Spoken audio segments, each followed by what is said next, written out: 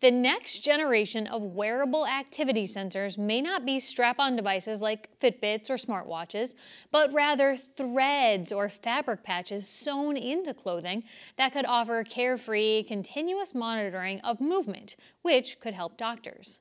Seem kind of crazy? Well, it's quickly becoming reality at UMass Amherst Institute of Applied Life Sciences Center. Connecting Point's Jenna Berkowitz visited the lab to get a look at how this smart fabric technology could impact us in the very near future. Here, in the school's brand new Physical Sciences building, professors and grad students develop wearable tech. What our lab does, along with Professor Deepak Ganesan, is make smart garments. And it's effectively a way of having your clothes tell you how you're moving, how your heart rate is beating, how you're breathing during different parts of your day. And that's simply a way of taking something that you wear every day and using it to give you some kind of health uh, related information. So I called this a supercapacitor. Professors Trisha Andrews and Deepak Ganesan are the two leaders behind this health monitoring technology. So I think the real potential of this is just natural, regular clothing, uh, you know, being used as a sensor. And I, I want to distinguish that from, you know, you can take the electronics in a Fitbit and then just stitch it into clothing that doesn't ma really make it a textile-based uh, wearable, right? And wh what's magical about this, I think, is is just that the thread itself is sensing. This is the, uh, one of the first prototypes that we built. The team developed an armband that monitors physical activity. It detects your movement and sends it to a computer program. The researchers say this device can tell specific movement, from brushing teeth to sleeping. We're looking specifically at sleep posture um, to figure out if there's something wrong with your breathing when you're sleeping or if you're sleeping in the wrong posture that's leading to health problems.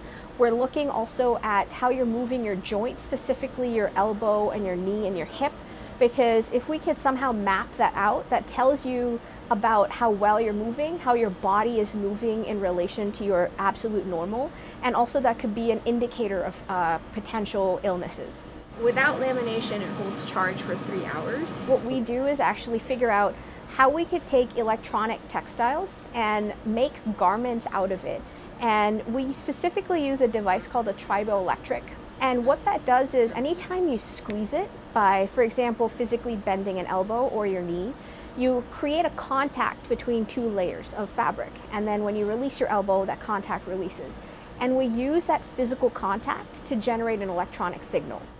We are a cross-disciplinary team of chemists, chemical engineers, uh, and computer scientists and electrical engineers. And we all work together uh, across our two labs at the, U at the UMass campus in order to figure out how to make the garment, what kind of device to put on the garment, and then how to process the signal so that we're actually getting meaningful information out of just a really simple electronic uh, impulse. My wonderful engineering students learned how to sew and weave and they make our garments, yes, and I'm very proud of them.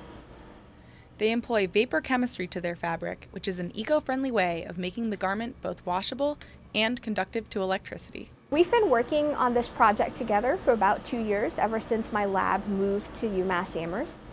We come in every day and, and, we think of a way of can we put it on a garment and make it useful and durable and that's what my students do every day and that's that's what I think about science grad school is, is just having the you know the desire to make something new that would help you in your future in your life this is exciting for healthcare and I think it's still a ways away, but I think we're making some very strong progress.